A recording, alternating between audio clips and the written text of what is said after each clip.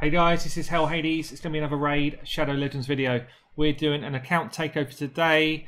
Rockham level 55, um, basically coming in at day 47.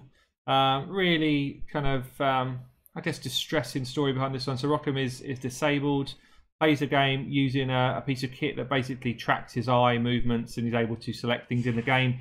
Actually, generally, he's not able to do gaming because of that. So it's quite cool that he's found a game that he's able to get involved in. Uh, he just came to me and said, "Look, any chance you can help me out with a couple of areas of the game?" Uh, he's actually developed his, his Great Hall pretty well. Um, he's got an insane amount of energy here. He must have been like just dropping the old energy bombs. But yeah, basically what we're looking at today is can we get a bit further in Ice Golems? So Ice Golems currently we've got a team that is hitting level 19. He wants to get across that kind of 20 mark and get a kind of consistent team. Um, mainly because we're starting to come up now to some of the end game stuff and he wants to be able to clear his way to Arbiter. Uh, let me just have a check of the other dungeons quickly. So we've got Spider, yeah, Spider's on farm. I think he's got the other stuff on farm. Dragons on farm. And Fire Knights. Uh, Fire Knights actually got a long way to go, so maybe Fire Knights we can have a quick look at as well. Uh, and he's just asked anyway that I can also just kind of put a bit of time into Clan Boss. So we're doing here uh, we're doing here Nightmare, two key in, good champions. Mm, it does have counter attack in there. So yeah, two key Nightmare. Um, basically wants to push on from there and see if he can get some Ultra Nightmare stuff going on. Uh, we're going to have a look now. So let's check out his champions. Um, he's recently got a Tormin, not geared, so I'm going to do some gearing there. Um, just as a kind of sideline. But yeah, let's see what we've got here. So fantastic champions, Venus, Razin, Tyrant, Valkyrie, Really cool champs. Um, Miscreated Monsters in there, Tyrell's in there. Yeah, he's got a really good setup here for someone who's been playing the game as long as he has. Um, and he's got a load more stuff in here as well. So, yeah, I mean, he's got three rays, blimey. So we've got PvP Meister here. Um, anyone we need to get out here. So we've got another counter attacker in the vault. So we could go double counter for clan boss potentially. Um, just trying to think if there's anything more that we should be getting out to do things like Fire Knights and Ice Golem. Cerise is always amazing, pretty much any content of the game. She might actually be quite useful for us for Ice Golems. Let's get her out, she could be useful. I mean, otherwise, there's some good champions in here. He's got Jareg, doesn't really need him with this account though. Um, there's plenty of stuff in here to be playing around with, but we've got enough stuff that's already leveled up, I think, to do some work. So I think what we're going to do, I generally start by gearing out the clan boss team, just because it's it's for me it's the easiest place to start. Um, what I want to do though, because I want to make sure we've got. I, I guess the reason why I do that is because once clan boss is geared up, often you can use two or three of your clan boss team in other content. So the rest of the kind of builds become faster. Um, but I'm aware these videos tend to start by me showing clan boss. So I'm going to gear up in my usual way, but what I'll do in terms of slots here is I'm going to show you the dungeon content first and then flip to the clan boss stuff at the end. Um, so anyway, let's get into gearing. Um, I'll show you just some of the gear sets he's got and I'll give my opinion on, on how they're geared. So we've got here a Venus, good speed, low on defense, a bit high on HP, but not bad. Not bad on accuracy. So this is quite a good nightmare build. We've got a Razin, way too low on defense, way too low on speed, low on accuracy. So this build needs a lot of work. We've got a Tyrant who is a bit slow, okay defense, good HP, good accuracy. Um, We've got a Morley, way too low on accuracy to do her job. Very good on speed, good on defense. So pretty much what I'm looking for when I'm saying this type of stuff is, you know, if it's clan boss for a particular speed set, I do have a, a video out for clan boss speed control. Now for Nightmare, you want to be in between a bracket of 171 and 189. For Ultra Nightmare, you want your counter attacker to flip up to 191, but everyone else stays in that same um, speed zone. So that's your kind of speed you want. Anyone who's not in your clan boss team, you kind of want to try and aim for around 200 speed. If you're looking at these kind of, you know, level 15 plus dungeons, really. 200 speed is good. then on any champion, you really want to try and push them towards 3k defense if you're looking at any of this kind of mid to end game stuff. 3k defense is the minimum, but really you want to be pushing 4k if you've got the gear to do it. For things like accuracy, you want to be pushing 170 plus. If you're at Ultra Nightmare, you want to be pushing over 200, uh, probably more like 220. Um, and then we've got things like HP, crit rate, and stuff like that. All of that just falls in line afterwards. They are not as important. I look at speed, then I actually look at accuracy, then I look at defense, uh, and then I start building stats out from there for pretty much all content and most champions in this game. Um, so it gives you a flavour. Uh, so for me, what would I run on Clan Boss? I would probably run Tyrant. I would run Valkyrie. I would probably run Razin. One, two, three. I would run Venus. Four. And then I expect I would probably run... Do we have a decrease attack in that? I don't think Tyrant's got it. No. So then it would probably be Tyrell. Saying that, do I need Razin is the question here. So we've got decreased defense and weaken. We've got poison and HP burn all, all wrapped up here in a nice little package. Um, we've got decreased attack in my Tyrell. Tyrant gives us ally protection. Ally protection should not be underestimated. It's really good. So we actually go, and is, is he defense based? Yes, brilliant. So what we want then is people that are going to improve us with that defense-based champ. So we've got one, two, three, four defense-based champions here. If we had somebody who increased defense and crit rate and block debuffs, we could have a good little champion here. Yeah, so Mausoleum Mage becomes pretty amazing in a team that's packed up with defensive champions. Um, I mean, there's even argument to say is is Venus even the right champion for this team? But I think she is. I think she is. Um, yeah, so I think that's what we're going to do. So I think we're going to go Tyrell lead, uh, Tyrant, Venus, Valkyrie, Mausoleum Mage as our clan boss team. And I think for things like Ice Golems, I mean, Miscreated Monster is always going to be in a team that's focused on dungeons. He's amazing. Venus will probably slip away into that as well. Valkyrie will probably get into it as well. So we're already at three. Probably a Tyrell for AoE decreased defense. Uh, albeit I think Venus maybe she does that. Is it AoE? Yeah. So Venus will actually be doing that job anyway. Um, so we've got one, two, three for sure. Mausoleum Mage is probably going to come in and Apothecary will probably come in. So we end up with two supports, one debuffer, one kind of support stroke damage, and one shield stroke damage. And you'll find the supports start doing a lot more damage when you've got someone like a Venus in your team. So let's get onto it. Let's get gear and some champions and start showing you some content. What do we look for in gear then? So um, we've got a number of items here, which is good. What I'm looking for is, you've guessed it, have we got a load of flat stats sitting here, which is just a complete waste of our time. Um, so I know Fighting Cows, if you haven't seen it, he's actually done a really good video saying don't always bin your flat stats. And you know what? I don't disagree with his his point at all. But what I would always do is I'd always dis- bin my flat stats in something like an attack set gear. Um, you know, you don't want to be wasting your silver on items in gear sets which you're just not going to use. So what I'm looking for here is is there stuff we're realistically going to use? Um, so we've got a load of four star Defense base we may use, but probably not we probably would never use this attack-based gauntlets because crit rate or crit damage is way better.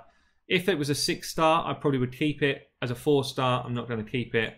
And then we've got some stuff already rolled up here. So we've got a flat stat rolled up. It's rolled triple speed, but with two other terrible flat um, substats. So my question then, uh, Fighting Cows, if you watch this, would you keep this item? For me, it's a definite in the bin. I just I can't see that you'd ever keep it. I can't see that that's ever worth putting on your team. If this was in a speed set, it's a different story. Speed sets, flat stats don't necessarily go in the bin. If we find speed, this is a flat stat, that's definitely in the bin. If we find speed though as a flat stat item like this, this is viable for somebody who is only in your team to boost speed and you expect to clear the enemy team straight away. That's the only kind of solution where that could work. Otherwise, it's just never worth keeping it. So I go through all the gear like this one here, off it goes. There's nothing worth keeping there. So yeah, I'm gonna go through all the gear, cleanse it out, and then we can get back to gearing these chaps. Okay, so we've got 132 items going straight in the bin with normal sets. Um, we still leave ourselves a decent amount, so we've still got over 300. It gives us a decent chunk of silver as well. Uh, I've got to say, we're dealing with a bit less silver than we normally deal with on these takeovers. So we've got just after selling there, we've got 12.4 million. it sounds like a lot, but actually, once you start re-gearing people, you can burn through 12 million in no time at all. Um, what I'm going to do is also just go through artifacts and kind of just talk you through what I'm doing here. So ideally, I'd say on 90% of builds that you do, you would ideally have a defense ring uh, on 90% of champions that you do. So even if you've got an attack based champion, they have to live. They have to live. If you're doing a clan boss build, you would want it on pretty much 100% of people. Maybe you've got the odd champion that's HP based and they, they have shields that scale off HP, like a warlord. Even then, I'd probably put a defense ring on him. It gives you flat stats defense, the highest um, flat stat defense you can get in the game. Um, so we're not finding many defense rings here. Uh, so take this one here. So if you upgrade this one to full, you get flat stat 225 defense. That will be the same on any champion in the game. Now, why that's important is that if you've got someone who has got a low base defense, like a Venus, so Venus at the moment is in an HP ring. Now, if she got a defense ring on her, and got that extra 225 defense, it's worth a big chunk of her base stat. Whereas a percentage roll like this is worth quite a small chunk of a base stat. So put defense rings on your attack based champions 90% of the time. Um, if you're wondering why your guys keep dying, it's because they don't have enough defense. Honestly, every time I do these takeovers, people are like, wow, I can't believe you just doubled my damage. So I know, and pretty much all I did was improve your defense. Like it's such a massive stat in this game. When you're kind of at the, the end game and you start to get over 3,500 defense, we've got a different conversation because then you've got decisions to make. Do I need more or not? If you've got 3,500 already, then you start looking at other stats like HP and crit rate and damage. You don't at this stage. At this stage of the game, you're looking for survivability. That's why we've got people in lifesteal sets. That's why we're looking for defense. Now, on Clan Boss in particular, I would almost always put a defense amulet on somebody as well if you can do it, or an HP. This amulet here. So what we're looking for for an amulet? Generally, we're looking for resistance. Uh, sorry, resistance, accuracy, and survivability on anyone in Clan Boss. If we're looking for a damage dealer through dungeons, then maybe you go crit damage. If you're looking for a nuker in arena, you might go crit damage. Otherwise, yeah, again, nine times out of ten, it is defense. Defense is the king stat on these items. Um, anyway, I'm going to get into finishing this off and then we can start giving people up. Okay, so we're going to start with ice uh, with Fire Knights. actually. We're going to start with uh, Fire I'm going to run the Apothecary who I've built up. Basically speed gear, some defense. Um, yeah, it's mainly speed. It's a speed build with defensive stats. Uh, we've then got ourselves a Valkyrie. The Valkyrie has been built up to be ready for clan boss as well. 172 speed, decent uh, defense, and uh, the rest of the stuff's kind of irrelevant. And we've got Venus. So Venus is again built for clan boss, but she's going to be good everywhere. Better defense, good speed, good accuracy. And we're going to use ourselves a Kael who was already pre-built, so I've not done anything different here. And a Cold Heart who was again already pre-built. Um, Cold Heart's build is not good, but I'm basically out of silver already. So let's just crack on and see if we can't get through a couple of stages of Knights. So this is as far as the account I've got. Obviously you've got Venus in here that just puts these crazy debuffs out there, so we should probably just nuke through these guys pretty quick. Um, AoE HP burns, AoE decreased defense and attacks. It's just all kind of crazy from Venus, so yeah, you don't need much more than her her and a Valk in a team comp like this. We're probably going to take a bit of damage here. But again, we're kind of just setting ourselves up to get through this part of the, the content. And maybe, because I haven't built the Kael and the Cold Heart, I think their builds are not amazing. But Um, they should be enough to get through this level at least. You see there, we didn't land our reduced healing because the Cold Heart's accuracy is just not high enough. Which means he's going to heal up quite a bit each time. We've got counter attacks up though, so Valkyrie's doing that work for us. It means we're just going to get straight through the shield. And at this stage, it should be relatively easy. Did get the drop turn meter. So yeah, so this feels like it's a, a pretty clean run. Gonna get one more slam on us. Hopefully, I mean, the counter attack just went up at an awful time. Actually, all of these abilities right now are going up at an awful time, but there you go. That's the way it works. Hopefully, we'll just get the nuke to finish this off, can we? Not quite. Yeah, there we go. 1 minute 25. So that's actually a really fast run. Pretty happy with that. Uh, that same team can take us through at least to stage 17, so I'm happy with that setup. We'll pass that one back for him to work through. Uh, let's do Ice Golems as well. Ice Golems is just all about level 20 here, so we want to get blue champions or green champions. Um, so again, who have I built up already? I've built up my Valk, I've got my Venus, I've got my Apothecary. Uh, I'm going to bring in Ty, uh, Tyrant, who's very good here as well, and Tyrell, uh, all of which have been built up ready to go for Clan Boss except Apothecary. So the Clan Boss builds are going to be pretty similar. High defense, high speed, good accuracy. As long as you got all of those things, then it works for high level dungeons as well. They're all in lifesteal gear here apart from the Apothecary as well. So I can't see this, this run being a problem at all everyone's got some form of masteries at decent level as well. You see there, 20 odd seconds first wave, that's good. Get the reset now on the decreased defense and uh, weaken. Obviously, there's always a danger here with these front two that could cause us problems. We do have counter attack up though, so it's better to have counter attack here than some kind of someone going in full nuke. But this will be no problems either. Getting through this wave.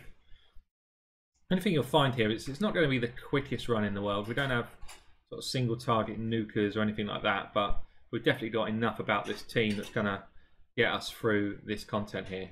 So we're kind of waiting on Venus now to get our AoE, decrease defense and and and weaken back up.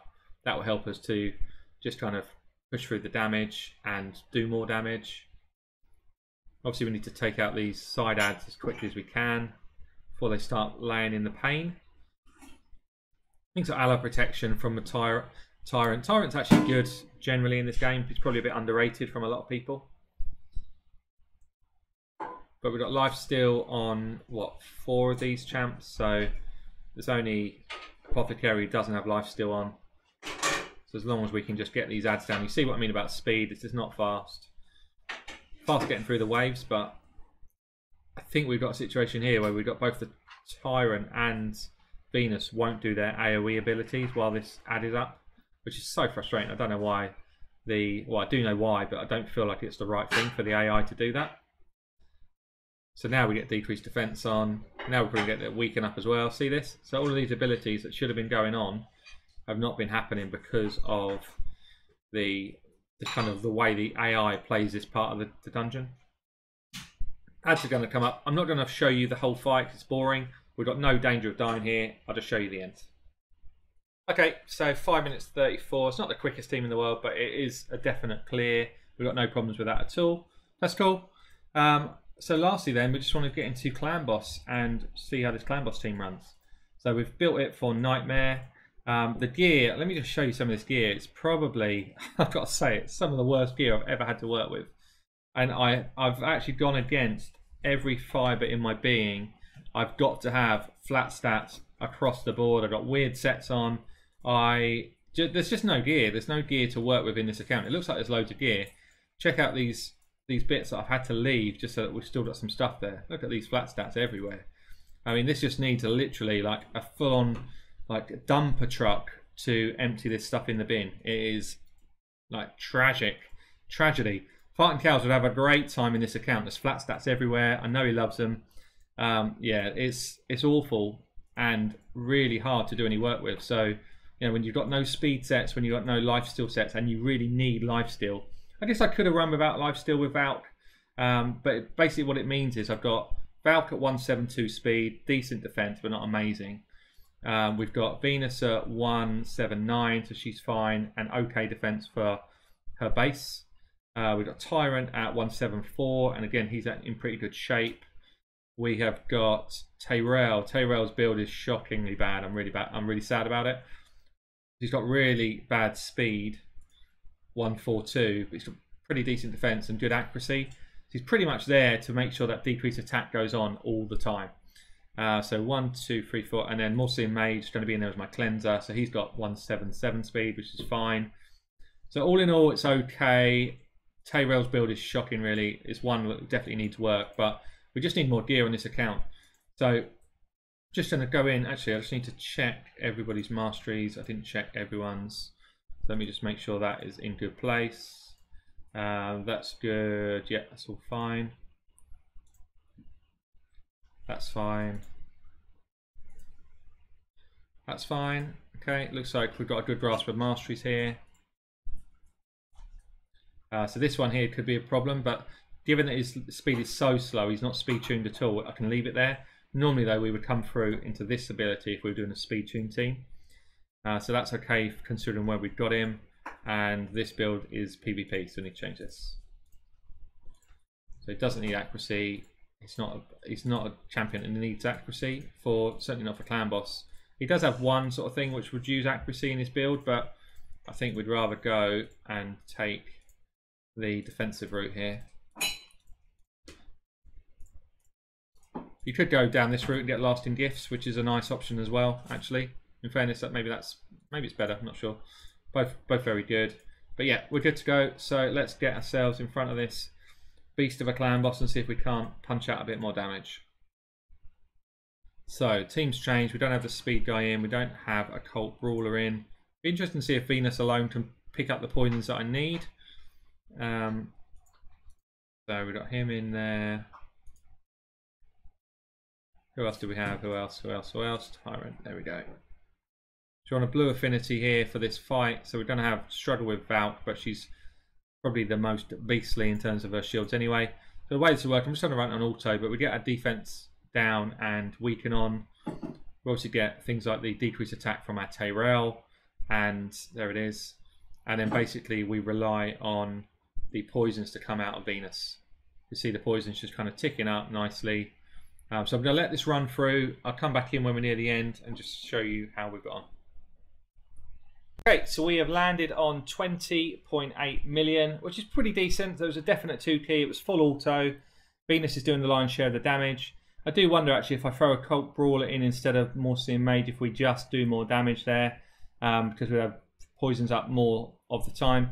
Also, Tyrell's build just needs to be improved. If Tyrell's build improves, then we do more damage anyway, fact. So all in all, pretty happy with that. Uh, I think it's time to hand the account back. So we've got a, a nice Golem team which works 100%. We've got a Fire Knights team which is easily going to sort of shred through some more of the levels. And we've got a, a Clan Boss team which is full auto, two key in. Um, we've got a lot of a lot of items still to throw in the bin, but that's going to be some work for the future because he needs to farm a few more up.